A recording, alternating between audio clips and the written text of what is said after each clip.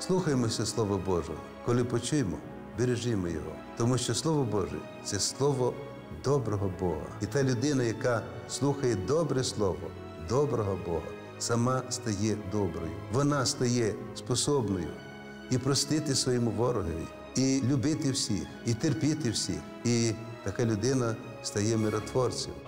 Слово предстоятеля у суботу о 6.10 тільки на інтернеті.